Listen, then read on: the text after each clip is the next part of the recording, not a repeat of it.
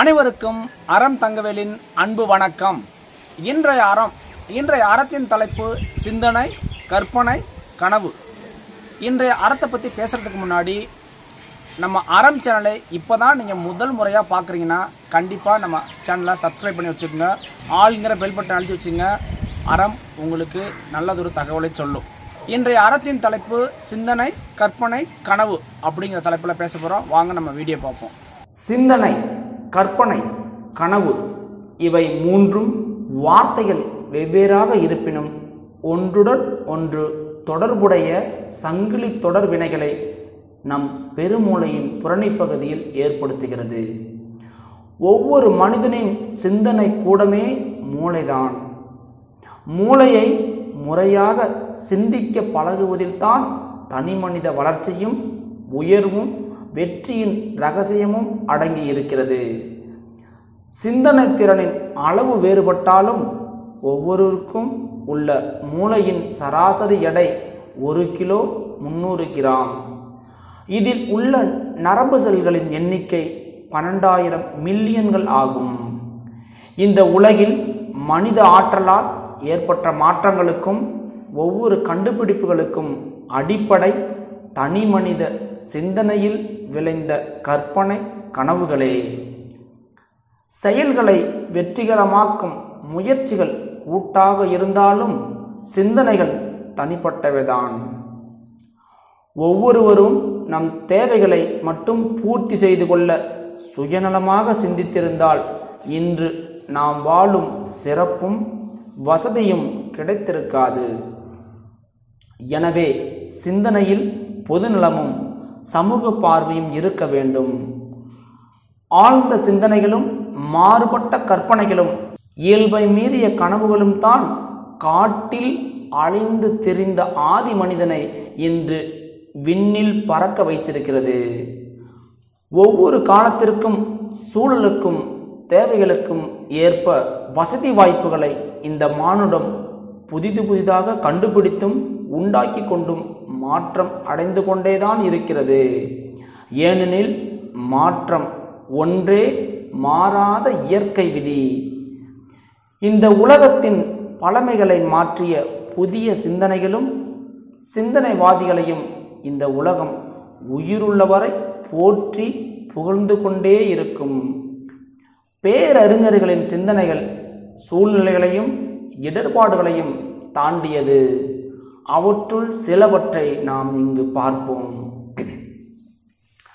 இயற்கையும் இயற்கையின் விதிகளும் இரவின் இருளில் மறைந்து கிடக்கின்றன என்ற ஆங்கில கவிஞன் போப்பின் வரிகள்தான் எவ்வளவு உண்மையானவை.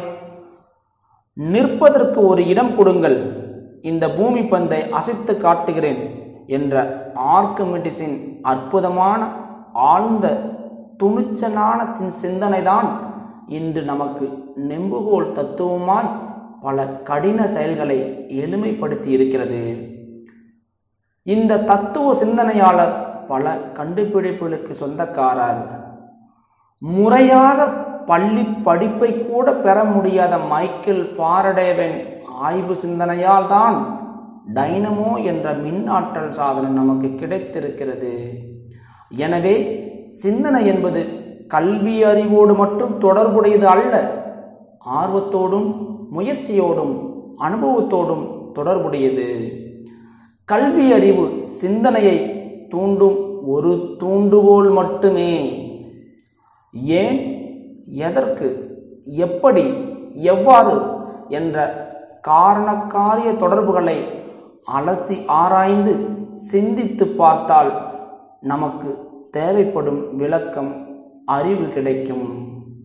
வானமும் கடலும் ஏன் நீல நிறமாக காட்சியளிக்கின்றன என்ற காரணக்காரிய தேடல்தான் சர் சி வி ராமனுக்கு நோபல் பரிசை பெற்று தந்திருக்கிறது.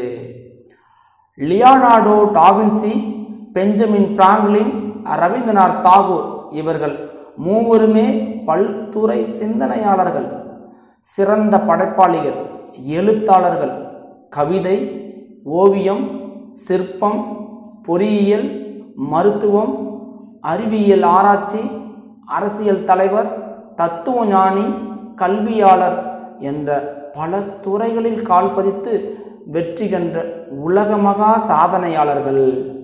இவர்களின் சிந்தனை கற்பனை கனவுகள் அனைத்தும் அற்புதமானவை. போற்றி புகழப்பட வேண்டியவை. இவர்களின் வெற்றி பற்றியலும் ஏராளம். ஒவ்வொரு மனிதனின் மூளையில் ஒவ்வொரு மனிதனின் மூளையிலும் ஒரு நாளைக்கு நாற்பத்தி எட்டாயிரம் முதல் எழுபத்தி ரெண்டாயிரம் வரை எண்ணிக்கையிலான சிந்தனைகள் ஓடி ஓடி மறைவதாக மூளை ஆராய்ச்சி வல்லுநர்கள் கூறுகிறார்கள். இதைவிட ஆச்சரியமான விஷயம் உலகின் நம்பர் ஒன் அறிவியல் அறிஞர் என்று சொல்லப்பட்டு வந்த ஆல்பர்ட் ஐன்ஸ்டீன் தான் தனது ஆராய்ச்சியின் பயனாக அணுகுண்டு தத்துவத்தை விளக்கியிருந்தார். இவரே தன்னுடைய மூளையின் பெரும்பகுதியில் குறிப்பிட்ட பகுதியை மட்டுமே பயன்படுத்தி இருக்கிறார் என்ற ஆய்வு பின்னாளில் கண்டுபிடித்து சொல்லப்பட்டது. இவரே இப்படி என்றால் சாதாரண மனிதர்களாகிய நாம் எவ்வளவு பயன்படுத்தி வருகிறோம்? நாமெல்லாம் ஆழமாக சிந்தித்து பார்க்க வேண்டிய ஒன்று. இவர்தான் கற்பனை சக்தி என்பது அறிவுத்திறனை விட சக்தி வாய்ந்தது என்று கூறுகிறார். அறிவு என்பது கற்பனை திறன் மன தூய்மை தைரியம் ஆகிய மூன்றையும் உள்ளடக்கியது என்றும் தைரியம் இருந்தால்தான் வித்தியாசமான சிந்தனைகள் தோன்றும் என்றும் நம் முன்னாள் குடியரசுத் தலைவர் அப்துல் கலாம் கூறியிருக்கிறார். கற்பனையே மனிதனுடைய சிந்தனைகளுக்கு சிறகுகளை தந்தது. என்று நம் தலைமைச் செயலாளரும் இலக்கிய சிந்தனையாளருமான வே. இறையன்பு ஐஏஎஸ் அவர்கள் கூறுகிறார்.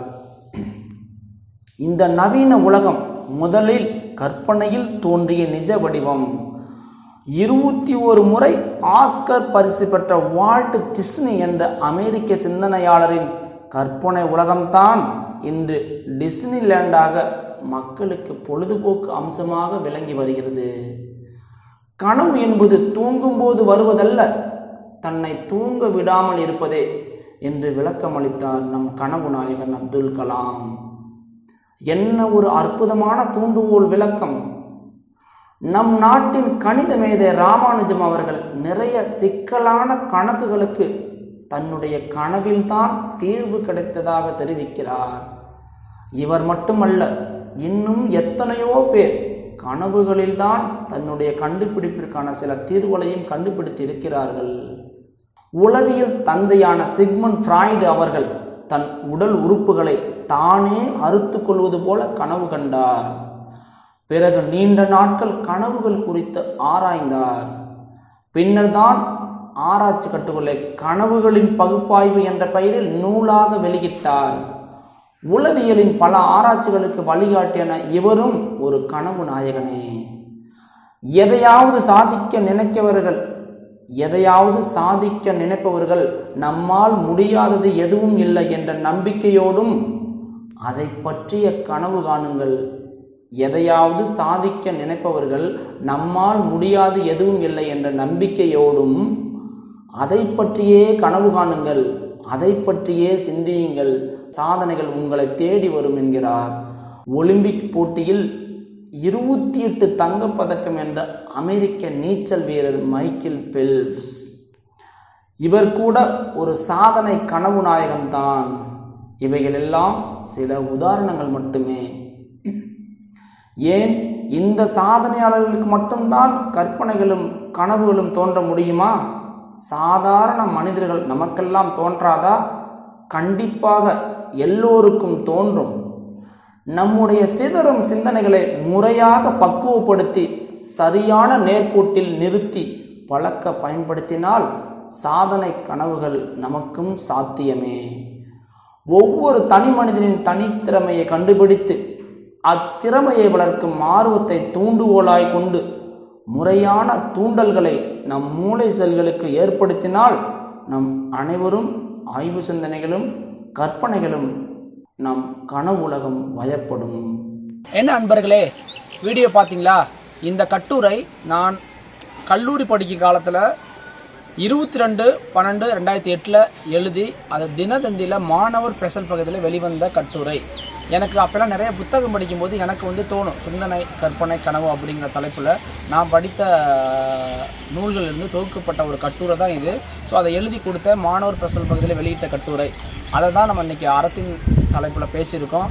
கண்டிப்பாக இந்த வீடியோ உங்களுக்கு பிடிச்சிருக்குன்னு நினைக்கிறேன். ஏன்னா என்னுடைய எழுத்தாற்றலுக்கு என்னோடய எடிட்டர் மூலமாக படக்காட்சி படுத்தியிருக்கிறோம் ஸோ இந்த வீடியோ பிடிச்சிருந்துச்சுன்னா உங்களுக்கு உங்களோட ஃப்ரெண்டு சர்க்கிளில் ஷேர் பண்ணுங்கள் தொடர்ந்து நம்ம அறம் சேனலை சப்போர்ட் பண்ணுங்கள் அடுத்து இது போன்ற ஒரு நல்ல வீடியோவில் சந்திக்கும் வரை உங்களிடமிருந்து விடைபெறுவது அறம் தங்கவேல். நன்றி.